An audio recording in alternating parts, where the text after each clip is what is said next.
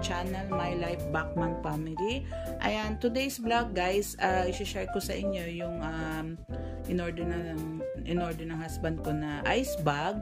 Uh, ito po yung sapatos na ginagamit namin pag uh, yan nga, pag winter, madulas sa labas, tapos uh, uh, yun nga, yung ice talaga siya, yung sa kalsada. So, ito po yung ginagamit namin.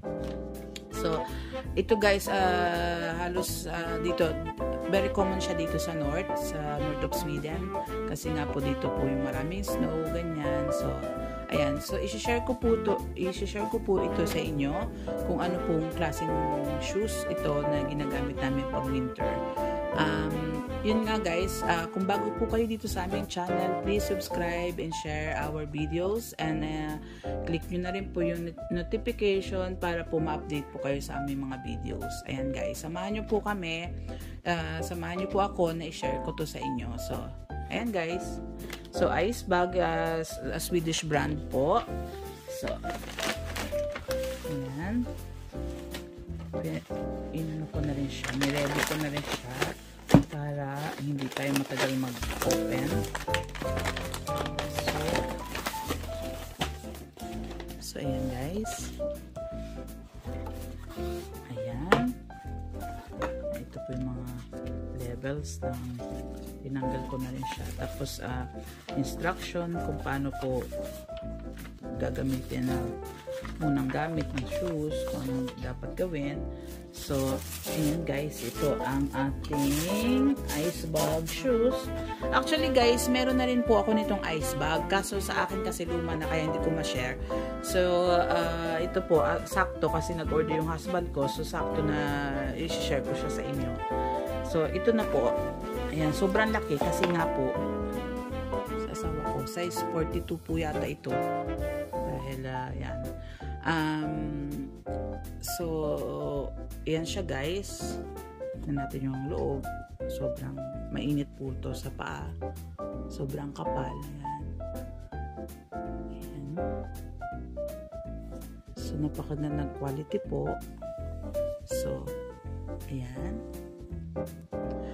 Ayan guys, so ipapakita ko sa inyo bakit napaka-special po ng sapatos na to. Bakit na uh, hindi nga po kami nadudulas? Kasi po, meron po siyang studs sa likod ng shoes. Ayan, ayan nakita nyo po. Ayan. So, ayan po yung studs niya na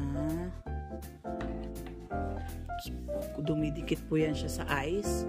So, pag umapak tayo sa ice, hindi po tayo nadudulas. Ayan. Ice bag. So, ayun po yung pagkakaiba ng sapatos na to sa ibang normal shoes. Kasi pag sobrang dulas po talaga sa labas, hindi po tayo pwedeng gumamit ng ordinary shoes kasi nga po, napakadelikado. Pwede po tayo mabalian ng buto, pwede po tayong mamutog yung ulo natin. So, kailangan meron po tayong studs na sapatos. Meron din pong studs na kinakabit siya sa shoes. Kaso, ito po kasi mas maganda kasi nga nandito siya sa shoes kasi minsan yung studs na nabibili na kinakabit siya sa, sa, sa sapatos, natatanggal po siya. So, ayan guys, ito yung pag ano, ito yung talaga yung ginagamit namin pag sobrang dulas sa labas. So, alam ko po yung mga bansa na may mga snow, pero alam ko hindi po lahat ng uh, ng nag snow or some, nag uh, ano na countries gumagamit ito kasi karamihan po ng countries na nag snow hindi po nagtatagal or hindi po alam ko uh, north of Sweden, Norway, north of Norway, ganyan at saka Finland and uh, sa Canada na gumagamit ng mga ganito, Alaska, ganyan.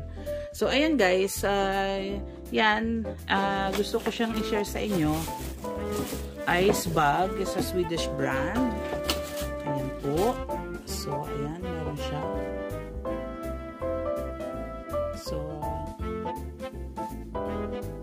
Perfect. Gusto ko kasi ipakita sa inyo kung ano pong uh, sapatos yung ano, uh, ginagamit namin. So, yung, yung ano nito guys, yung price nito, yung pagbili, medyo may pagkamahal nga lang po siya kasi nga po, yun nga, dahil uh, syempre yung quality, ganyan.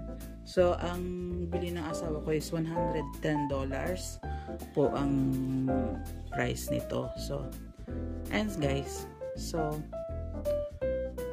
So, ayan, na alam nyo na po yung mga ginagamit namin sapatos pag, uh, pag winter. So, hindi lang po ang uh, may gulong, yung may uh, studs, pati po ang sapatos. Kasi pag meron po tayong sinasabi dito na winter tires, yung winter na gulong, So, yung winter po na, na gulong natin pag winter, uh, ginagamit natin, may mga ganito rin po siya, yung gulong mismo ng sasakyan. So, as I said, uh, yun nga po, hindi lang dahil, hindi lang gulong may studs, pati po ang sapatos, pag dito po tayo nakatira sa North. So, ayan guys, thank you for watching. Uh, sana po nagusto niyo po yung aking unboxing ng uh, ice bags. Um, sa lahat po ng mga nanood, thank you so much. At doon po sa hindi pa po nakakapag-subscribe sa aming channel, please subscribe and click the notification and uh, para po ma-update kayo sa aming mga videos. Ayan guys, thank you for watching and have a nice day. God bless. Bye!